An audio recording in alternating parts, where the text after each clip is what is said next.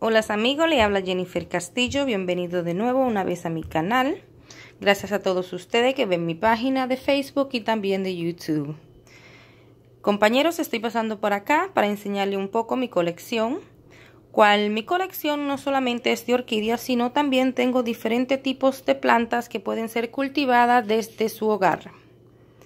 Simplemente quiero que vean la maravilla, todas mis plantas y también un proyecto que acabo de hacer, cual lo voy a compartir con ustedes y espero que les guste. Como pueden ver, tengo diferentes tipos de orquídea. Yo no soy una experta, simplemente soy una apasionada de la madre naturaleza, especialmente por las orquídeas, cual me he dado la tarea de rescatar varias de ellas de personas que lamentablemente no saben cuidarla y yo con la ayuda de todos ustedes sus canales he venido aprendiendo sobre cada una de ellas, mayormente la Phalaenopsis, cual es la más popular acá donde yo vivo.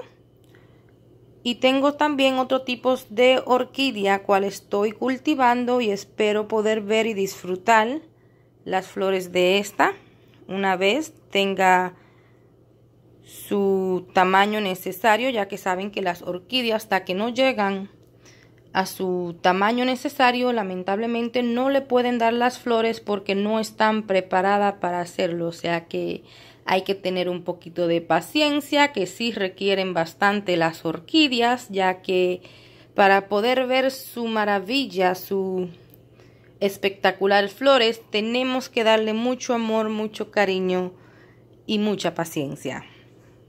Bueno, como pueden ver por acá, tengo diferentes plantitas. Acá estas son como tres tipos de orquídeas. Como le dije, no soy una experta, creo que son miltonias. Y estoy esperando que me den sus flores ya que tienen un tamaño bastante grandecito y espero que este año me puedan dar sus flores, cual lo vendría compartiendo con ustedes. Por acá tengo dos dendrobium están un poco pequeños. Este dendrobium acá, lamentablemente, tengo una gatita y se ha dado la tarea de querer comerse mi plantita, cual la tuve que remover de donde estaba anteriormente para que ella no se la comiera. Ya hablando de la gatita, por acá se le enseño, ella es la responsable de haberse comido esa plantita. Mírenla cómo está. No tiene ninguna pena alguna ya que ella sí lo hizo. Bueno, continuemos. Acá esta es una hermosa Phalaenopsis, cual yo rescaté. Me la dio una señora en Hondipo. Lamentablemente la iban a desechar porque en Hondipo, cuando las flores se le caen a las Phalaenopsis o a cualquier tipo de orquídea, lamentablemente desechan, la, desechan las plantas y no la venden. No te dan un descuento, la señora penosamente le pregunté si me podían dar un descuento, me dijo que no, que lamentablemente tenían que desecharla, pero luego me preguntó el por qué yo la quería y simplemente le contesté que soy una amada apasionada de las orquídeas y de la madre naturaleza y así terminé convenciéndola, gracias a Dios. Por acá tengo esta plantita que acabo de bueno, llevo aproximadamente tres o cuatro meses que tomé un hijito de una madre de una compañera mía. Y acá está el resultado. Está bellísima. Esta plantita por acá, cuando la compré, la compré mayormente por los colores que tiene. Un color verde con blanco mezclado. Y está preciosa. Esta por acá también es otra Phalaenopsis, cual también rescaté primera vez que voy a poder disfrutar de sus flores. Como ven es una vara, no tiene muchos botones porque es la primera vez que me da sus flores y como le dije es rescatada. O sea que creo que he hecho un buen trabajo porque estoy viendo que tiene aproximadamente 5 botones. Cual es una maravilla para hacer una orquídea rescatada. Si se fijan la mayor de mis, la mayormente, disculpen mi español que a veces se me va. Mayormente las orquídea que tengo son Phalaenopsis. Por acá tengo otra que también está a punto también de darme sus flores. Lamentablemente estoy un poco triste porque le rompí uno de sus botoncitos. pero ya le quedan bastante. Fue simplemente un error cuando le estaba moviendo, dándole su agua con su vitamina. Pero estoy muy contenta porque como ven tiene bastante de ello y va a ser una floración espectacular. Por acá tengo un bambú, una vez más, mi bella gatita. Le estoy conociendo sus hábitos y cuáles plantas le gustan y tengo que removérsela de donde la pongo usualmente porque mi querido gatito se la quiere comer. Pero este es un bambú hermoso que me regaló mi suegro. Está plantado en tierra, por eso está así de vigoroso y precioso.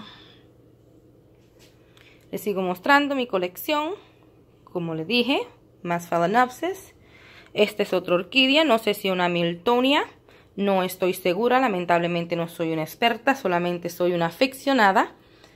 Pero según vaya entendiendo y según vaya haciendo mi educación sobre las orquídeas, entonces podría identificar a cada una de ellas.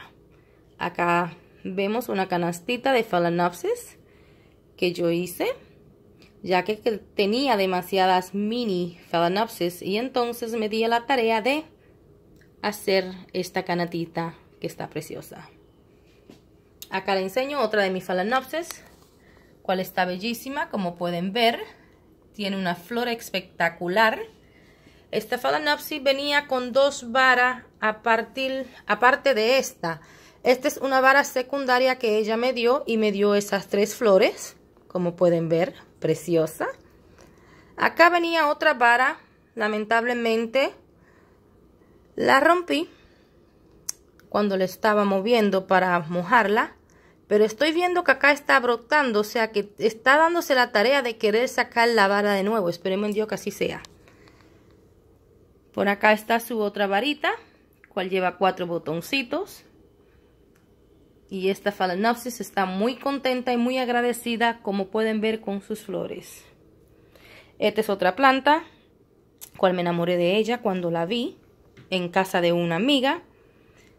Me dio un hijito y aquí estoy propagando los hijitos en un vasito con agua, sacándole sus raíces para poder plantarlo con la madre, cual vendría siendo esta a la que le corté los hijitos. Esta, esta planta es una preciosura. Es una planta que se pone grandísima.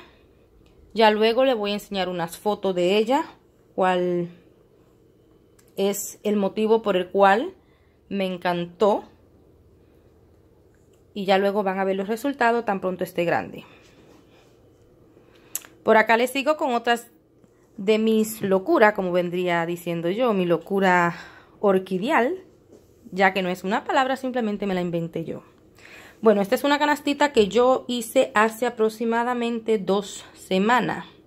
Esta canastita no estaba de esta manera. Esta canasta me la regalaron en el trabajo, cual me enamoré desde el momento que la vi, porque esta canastita, como pueden ver, es canasta hecha naturalmente.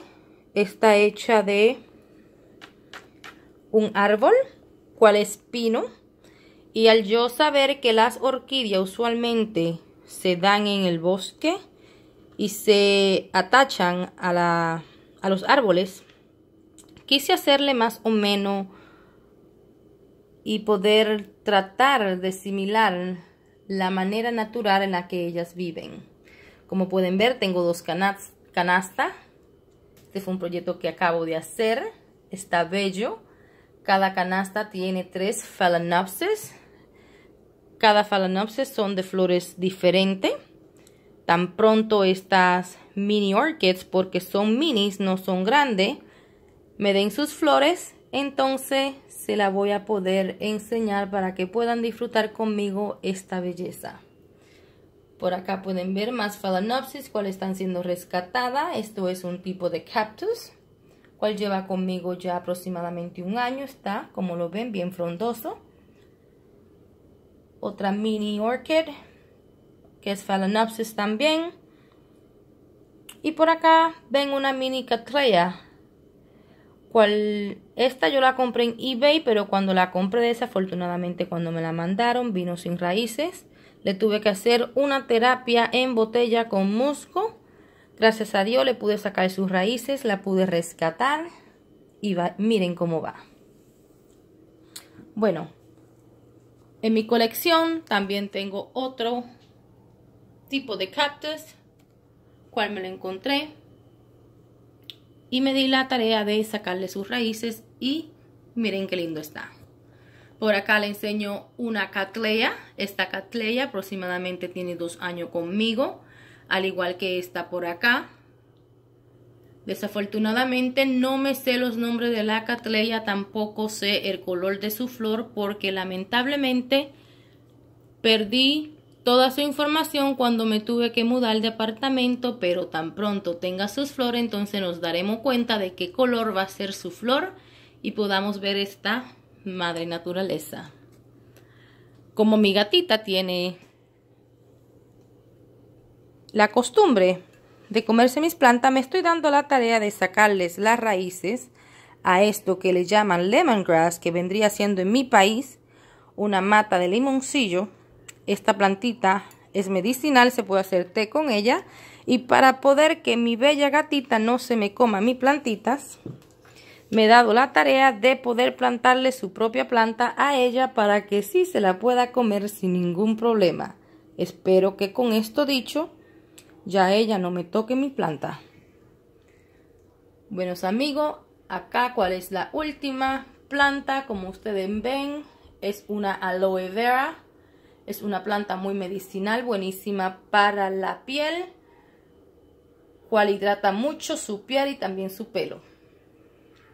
Bueno, ya que le presenté mi bella colección en mi casa, Pueden ver que todas mis plantitas están muy saludables, están hermosas, están creciendo, dándome muchas flores. Estoy muy agradecida con ella porque según estoy viendo le estoy dando el cuidado, humectación y las vitaminas adecuadas que ella necesitan para que ella me puedan dar y me puedan bendecir con toda su belleza que vendrían siendo todas sus flores.